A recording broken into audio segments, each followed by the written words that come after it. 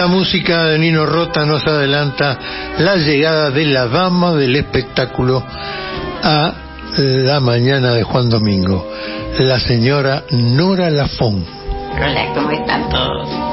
Bueno, eh, yo quiero contarles, empezar a contarles que mañana tenemos todos una gran cita eh, en el Museo Evita, ahí en la calle. ¿Eh? ¿El martes? No, mañana. ¿Mañana lunes? Mañana lunes, porque mañana lunes se presenta la coproducción entre Telam y Radio Nacional, Eva, el viaje del arco iris. Esto es mañana a las cinco y media de la tarde. Después el, el, el, martes va a haber una cantidad. Radio Nacional va a transmitir todo el día y a las cinco de la tarde va a haber un acto especial.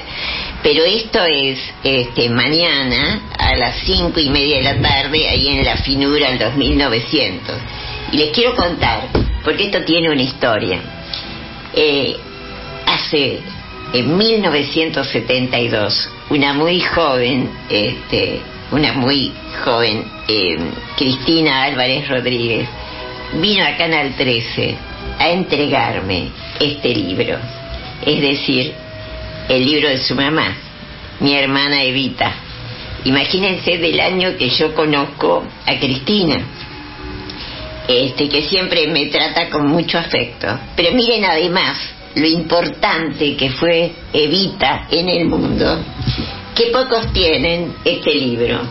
Este libro se llama American Evita y lo usó Hillary Clinton para, para su promoción este, cuando intentó ser candidata a presidenta de la nación de Estados Unidos. O sea, miren esto, ¿ven? Mira vos, Hillary, sí que no lo sabía. Leo, Hillary Clinton Hillary Clinton con la, con la S de propiedad, Hillary Clinton's Path to Power. Sí, y el libro se llama American Evita. Mira vos. Este, o sea, es impresionante lo que ha sido eh, la figura de la figura de Eva Perón a nivel internacional, claro. y que sigue siendo, ¿no? Porque sí, reconocida mundialmente como una, una, gran, una de las grandes mujeres que además solo pensar que murió a los 33 años, con todo eso que hizo en tan poco tiempo, es, es, es tan impresionante, tan impresionante. A mí me sigue emocionando como el primer día, ¿viste? Bueno, hay una cosa central de ella, que es una de las pocas personas en el mundo que cree en la igualdad de las personas. Y que en las personas la igualdad aquí y ahora, no el día de, que no, no, no, no, es una cuestión, es una cuestión de, que uno cree, que uno cree. A mí hace muchos años un compañero me, volvió a regalar la razón de mi vida y me, me, puso en la dedicatoria, este, quiero que vos tenés la misma voluntad y la igualdad, capacidad de voluntad. Bueno, eh, es un, es, yo, yo creo que Vita era, además de tan inteligente para encontrar el lugar que tenía que hacer, lo que tenía que hacer, y como vos decís, querer tanto al otro, que este, pero además tenía esa pasión encendida para, para lograrlo, porque no es solamente pensar que uno quiere hacer algo, sino la decisión de que había que hacerlo. Y además el método. Y el método. Porque ella, al igual que lo que enseña Tom Peters en Revolution Management o, o este, la, el tema de la calidad de la tarea, la excelencia, eh, Evita era de una ejecución excelente con todos los detalles que una mujer ve y los hombres muchas veces no vemos de lo que la persona necesita. Ella sabía lo que cada una de las personas que acudía a ella necesitaba y se lo daba. Y por eso y se lo daba en tiempo récord, se lo daba este, sí. y además construyó esas casas con, con muebles, con buenos muebles, pensando que la gente tenía derecho a vivir como, como, como pensaban o como tenían alguna La igualdad aquí y ahora. La igualdad de verdad.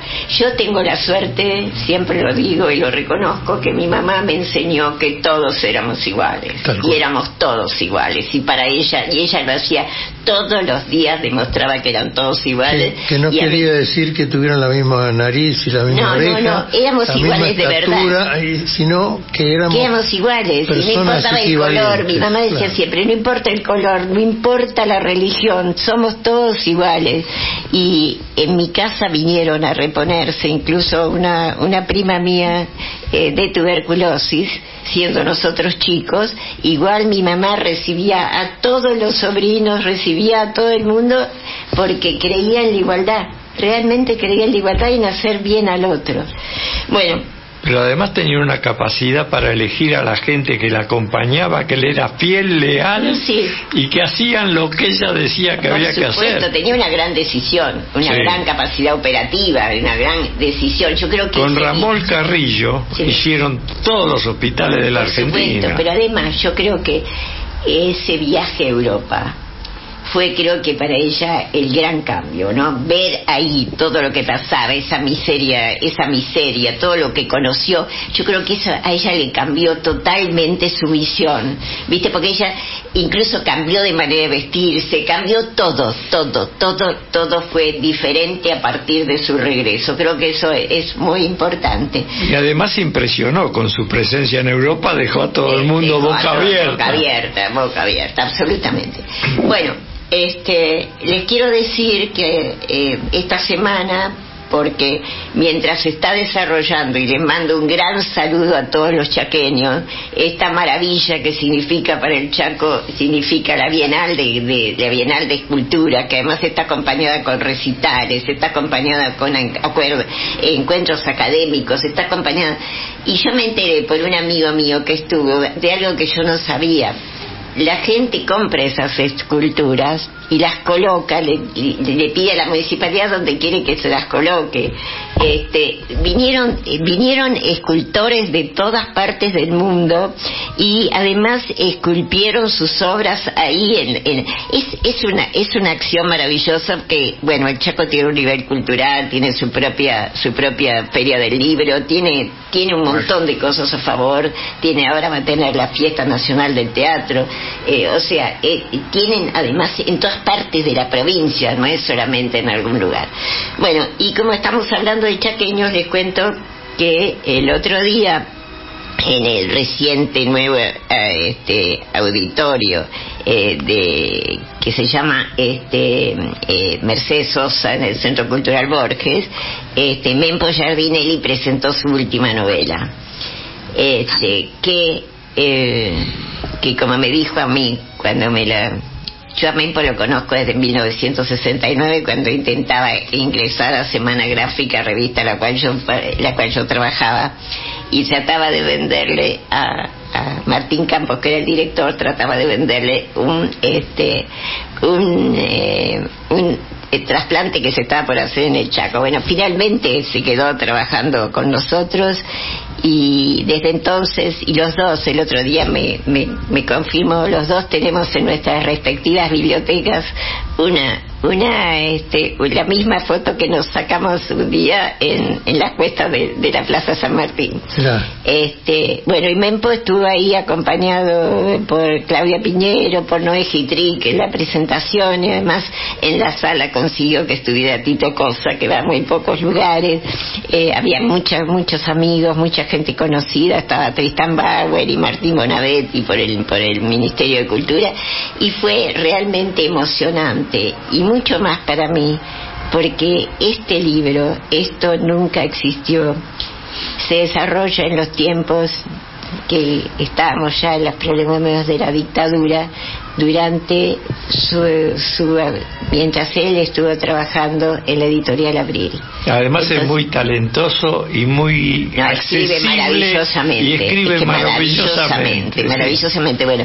Entonces, este esto nunca existió, tiene que ver con ese tiempo de la vida de, de Mempón, que todo, aparentemente todos los personajes son ficticios, pero tiene que ver con eso. Bueno, él, él militó en el área de cultura eh, de la tendencia revolucionaria del peronismo con Héctor Germano Estrella. Sí, por eso, pero además, eh, escúchame, él tiene su propia su propia fundación en el, Chaco.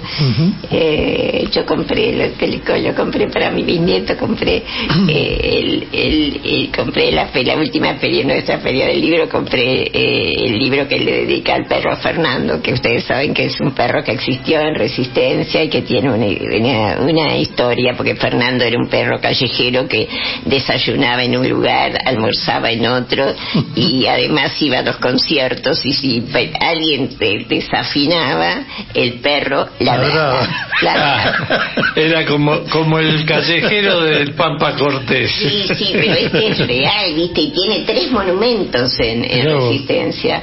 Es, es muy especial. Bueno, y quiero recomendarles algunas cosas a, a quienes tienen que, tienen que salir con los chicos en este momento.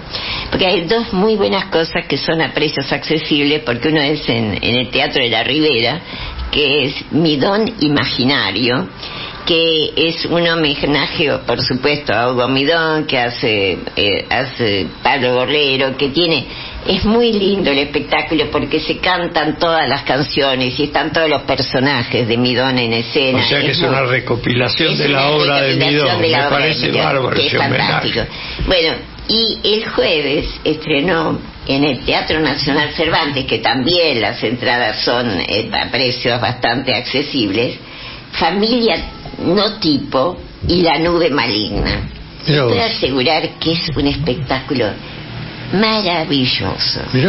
Porque tiene es una nenita que no puede dormir y entonces le, le, le, pregunta a una tía, ¿y qué, qué quieres? ¿Qué quieres que, cómo, puede, cómo puedo hacer para que trates de dormir? Dice, contame cuentos de terror. bueno, y entonces empiezan a aparecer una cantidad, y además, por primera vez veo la tecnología bien usada en el teatro. Es decir, cuando, claro, el Teatro Cervantes tiene cómo hacerlo. Sí. Tiene dispositivos, tiene todo eso. Pero, por ejemplo, cuando viene la nube maligna y se lleva a la gente, es la nube maligna que la ve sobre el escenario. Hay un montón de cosas, de participaciones, de canto.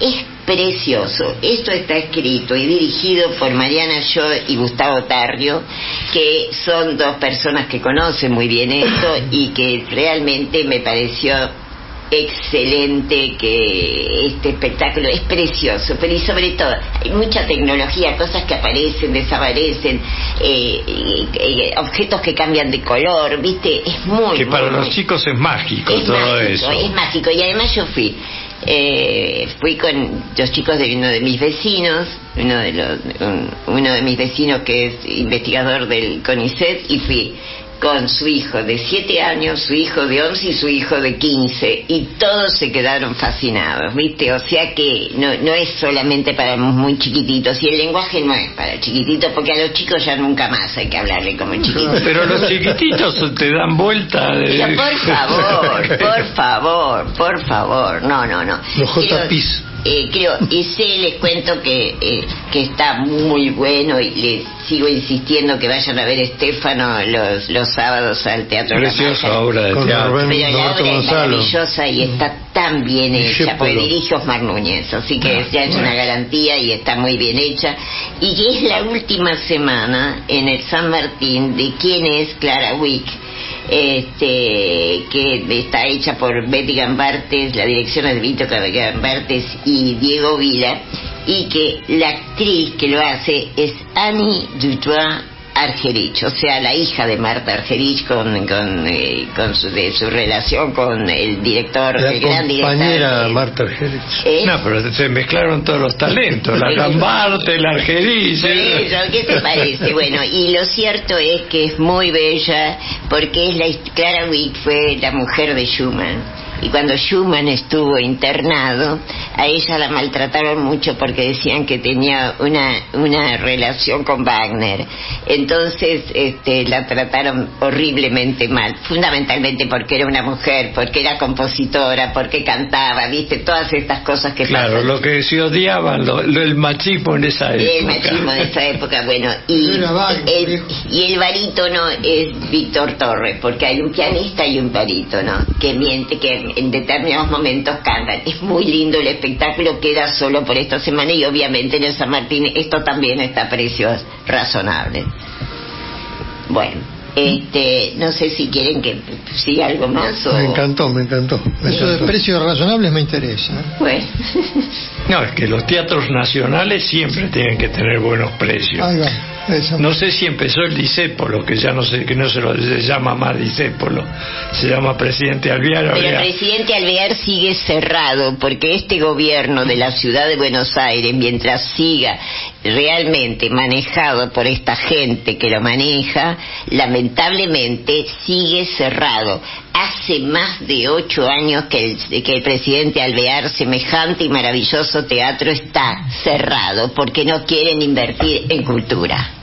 Sí, porque ya está terminado el arreglo, está reparado, se podría volver a hacer algo ahí. Eh, dicen que es mentira que está arreglado. Están hechas las veredas de este teatro, pero el teatro no. Adentro no hicieron nada, quedó como con No, las veredas se hacen, pero... Eh, pero adentro parece que no hicieron absolutamente nada. Y última cosa que les quiero contar. hay que volver a ponerle dice por dejarse de este, Estoy muy, muy orgullosa, porque la compañía argentina de teatro, de teatro clásico otra vez volvió a estrenar en, el ciclo, en el, en el Festival de Siglo de Oro español, que es, eh, digamos, la cuna del teatro clásico español, eh, que se hace en Almagro.